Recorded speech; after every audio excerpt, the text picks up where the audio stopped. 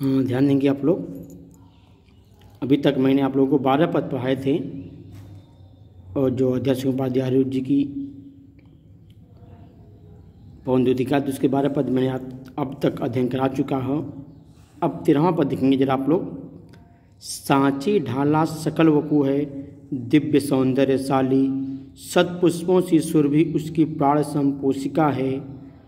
दोनों कंधे विषव वर्ष हैं, बड़े ही सजीले लंबी बाहें कलप कर सी शक्ति की पेटिका है। यहाँ पर राधिका पवन से कहती है कि, हे पवन, जैसे ही तुम श्री कृष्ण के पास पहुँचोगी, उनका दिव्य और अलौकिक शरीर को जो देखोगी तो तुम्हें ऐसा लगेगा जैसे उनका पूरा संशीर, शरीर ही किसी साँचे में ढाला गया है। हे पवन, तुम जैसे ही श्री कृष्ण के पास पहुँचोगी उनके दिव्य और अलौकिक सौंदर्यशाली शरीर को जब तुम देखोगी तो तुम्हें ऐसा लगेगा, उनका जो संपूर्ण शरीर है, किसी साँचे में ढला हुआ है। सतपुष्पों से सुरभि उसकी प्राणों की संपोषिका।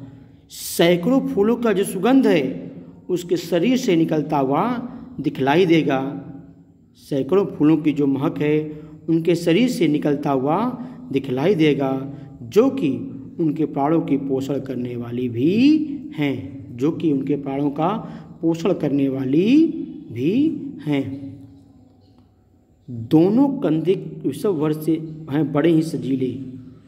यहाँ पर राधिका कहती है कि हे पवन, जो उनके दोनों कंधे हैं, वह बैल के कंधों के समान बड़े ही सुंदर हैं। हे पवन, जो श्री कृष्ण के दोनों कंधे हैं वह बैल के कंधों के समान बहुत ही सुंदर हैं और लंबी बाहें कलप कर सी शक्ति की पेटिका हैं। और उनकी जो लंबी भुजाएँ हैं उनकी लंबी भुजाएँ हैं, वह हाथी के सुर के समान लंबी और शक्तियों से भरी हुई हैं। उनकी जो लंबी भुजाएँ हैं, वह हाथी के सुर के समान काफ़ी लंबी हैं और शक्तियों से भरी हुई हैं। इसके बाद देखिएगा आप लोग। हे राधिक पवन, जैसे राधिका पवन से कहती है कि हे पवन, जैसे ही तुम श्री के पास पहुंचोगी, उनका दिव्य, अलौकिक और सौंदर्यशाली जब शरीर को तुम देखोगी, तुम्हें ऐसा लगेगा जैसे उनका पूरा शरीर ही किसी साँचे में ढाला गया है। और उनके शरीर से सैकड़ों फूलों की खुशबू आती हुई दिखलाई देंगी और ये जो खुशबू है, वह उनके प्राणों का पोषण करने वाली भी हैं।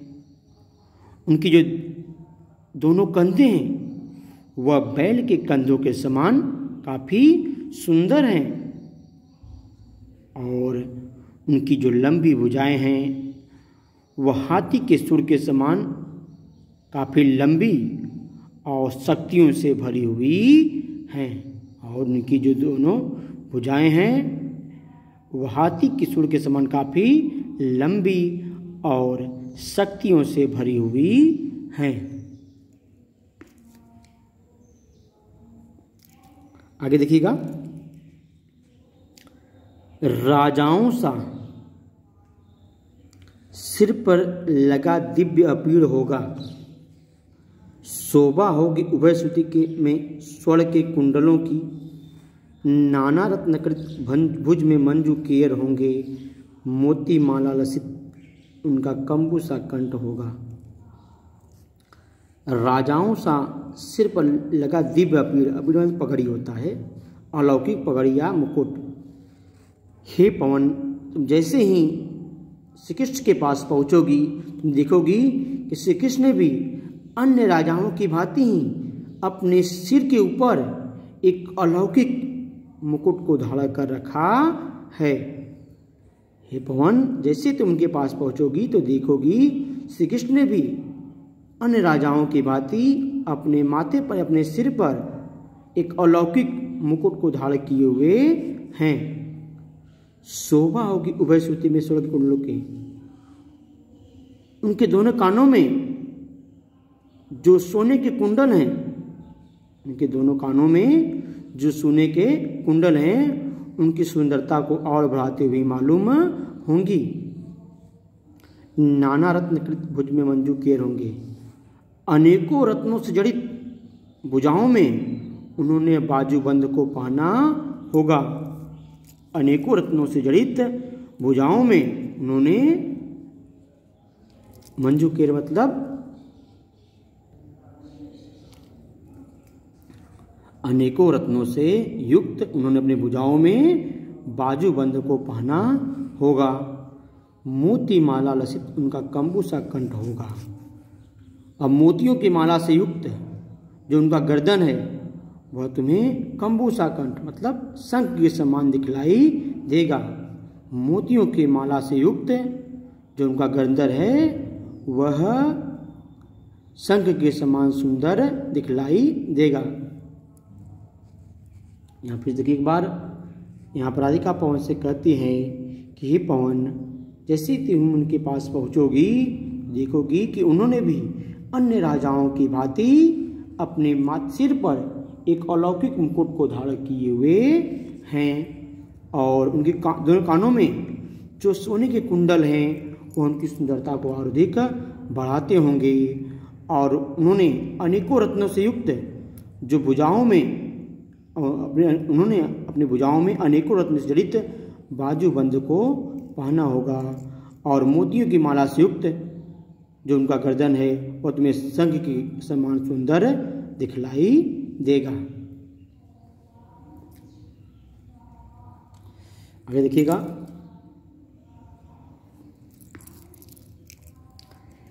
तेरी में है न यह गुण, जो तू व्यथाएँ सुनाए व्यापारों को प्रखरमती और युक्तियों से चलाना, बैठे जो हो निस्सधन में मेघ सी कांति वाले तो चित्रों को इस भवन के ध्यान से देख जाना। यहाँ पर राधिका पवन से कहती हैं कि, हे पवन, तुम्हारे अंदर यह गुण नहीं है कि तुम मेरे सारे दुखों को जाकर किसी के से बता सको। हे पवन तुम्हारे अंदर ये सारे गुण नहीं है कि जा करके तुम मेरे सारे दुखों को श्री कृष्ण को बता सको। इसलिए व्यापारों के पखरमती और युक्तियों को चलाना। तुम व्यापारियों की बाती, अपनी तीव्र बुद्धि और युक्तियों का प्रयोग करना। इसलिए हे पवन, तुम व्यापारियों की बाती, अपनी तीव्र बुद्धि और युक्तियों का युक्तियों के द्वारा मेरे दुखों को बताने की कोशिश करना। बैठे जो हो निस्सदन में मेघ सी कांति वाले। हे पवन, बादल के समान चमक को रखने वाले श्री कृष्ण जी, अगर अपने घर में बैठे हों। हे पवन, बादल के समान तेज से युक्त श्री कृष्ण जी, अगर अपने भवन में बैठे हों तो चित्रों को इस भवन को ध्यान से उस भवन में कोई चित्र हो तो उन चित्रों के माध्यम से ही तुम मेरे सारे दुखों को उनके पास प्रकट करने की कोशिश करना। देखिए एक बार। हे पवन, तुम्हारे अंदर ये सारे गुण नहीं हैं कि तुम मेरे सारे दुखों को श्री कृष्ण से बता सको। हे पवन, तुम्हारे अंदर ये गुण नहीं है कि मेरे सारे दुखों को श्री कृष्ण से तुम बता सको। इसलिए व्यापारियों के समान अपने तीव्र बुद्धि का प्रयोग करके, कोई न कोई युक्ति चला करके मेरे दुखों को उनके सामने प्रकट करने की कोशिश करना।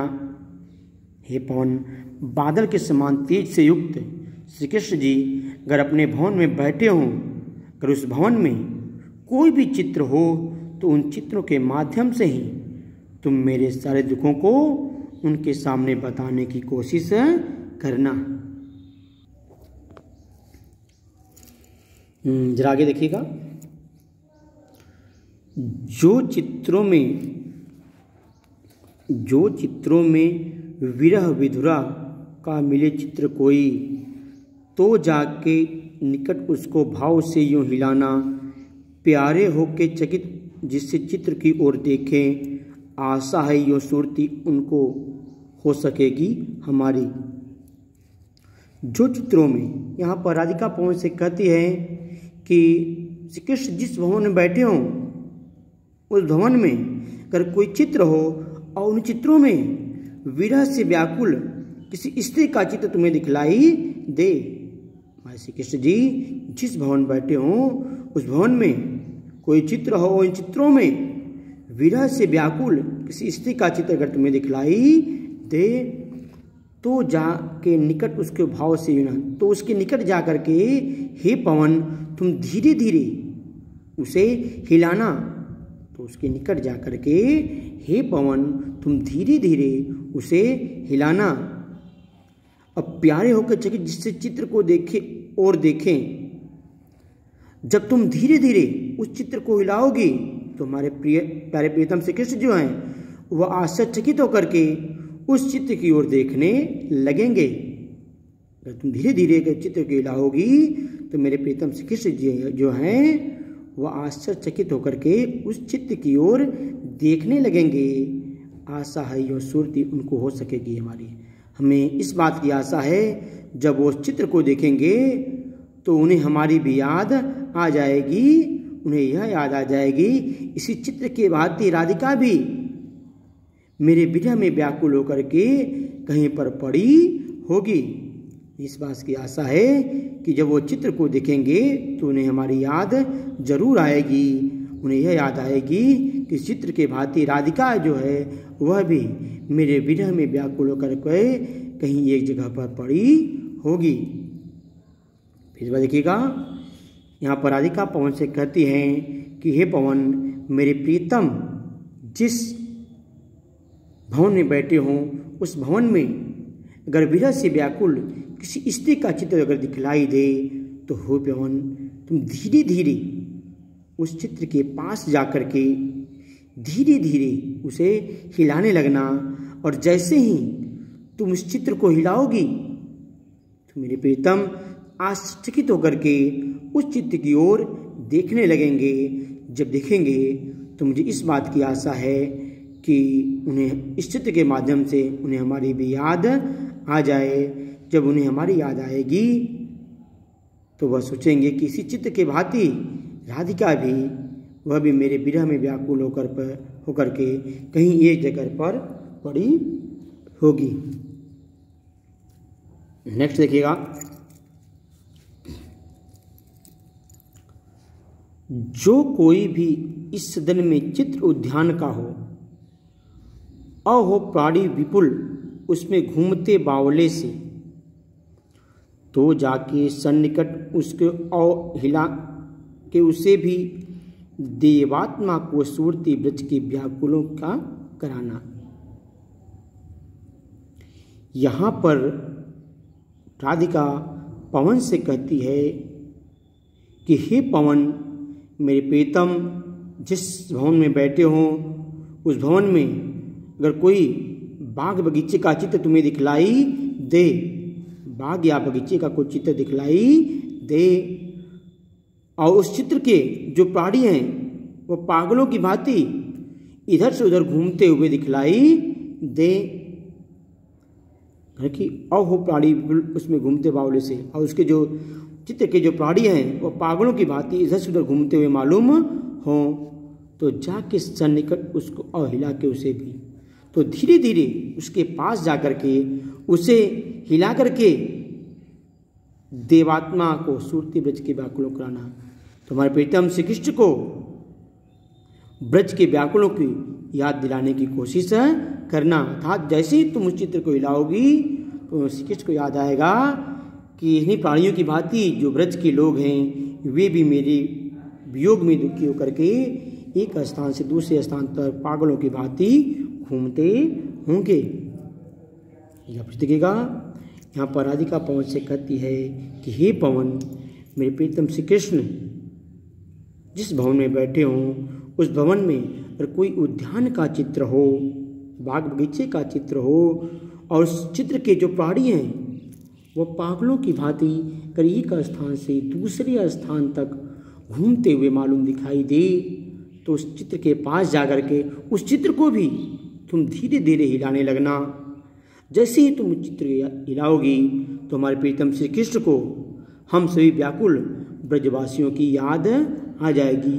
उन्हें यह याद आ जाएगा कि इसी प्राणियों की, इन प्राणियों की भांति ही जो ब्रज के लोग हैं, वह भी मेरे वियोग में व्याकुल दुखी होकर के एक स्थान से दूसरे स्थान तक ऐसे ही घूमते होंगे। अगला देखिएगा। कोई प्यारा कुसुम कुमला गेह में जो पड़ा हो तो प्यारे के चरण पर ला डाल देना उसी को। यो देना ए पवन बतला, फूल सी एक बाला, मलाना हो कमल पग को चूमना चाहती है। यहाँ पर राधिका पवन से कहती है कि, हे पवन, जिस भवन में मेरे प्रीतम श्री कृष्ण बैठे होंगे, उस भवन में कोई सुंदर सा फूल फूल अगर मुरझा करके उस भवन में पड़ा हुआ दिखलाई दे। हे पवन, मेरे प्रीतम, जिस भवन में बैठे हों, उस भवन में कोई सुंदर सा फूल अगर मुरझा करके कहीं पर पड़ा हुआ दिखलाई दे तो उसे ले जा करके तो प्यारे के चर पर डाल देना उसी को तो हे पवन उसे उड़ा करके ले जा करके श्री के चरणों पर डाल देना। अयो देना, ए पवन बतला फूल से एक बाला। और हे पवन, उनके पैरों पर डाल करके उन्हें यह जतला देना कि इसी फूल की भांति एक राधिका भी जो है, एक बालता, एक स्त्री राधिका जो है, वह मलाना हो, कमल पक को चूमना जाती हो। आपके वियोग में व्याकुल होकर के, दुखी होकर के, मलिन मुख वाले होकर के आपके कमलवत चढ़ों को चूमना चाहती है। देखिएगा, हे पवन, मेरे प्रीतम श्री कृष्ण, जिस भवन में बैठे हों, उस भवन में कोई फूल अगर मुरझाया हुआ हो पड़ा हुआ दिखलाई दे तो उसे ही ले जाकर उड़ा करके श्री के चरणों पर डाल देना और डाल करके उन्हें यह बतला देना कि इसी फूल की भांति ही राधिका भी मलिन मुख वाली होकर के, दुखी अवस्था में होकर के आपके कमलव चरणों को चूमना चाहती है। आपके कमलव चरणों को चूमना चाहती है। हाँ ध्यान देंगे। आज के लिए इतना ही है। कल इस पूरे पाठ को समाप्त कर दिया जाएगा। इसलिए आगे पढ़ाई अब कल आप लोगों को बताई जाएँगी।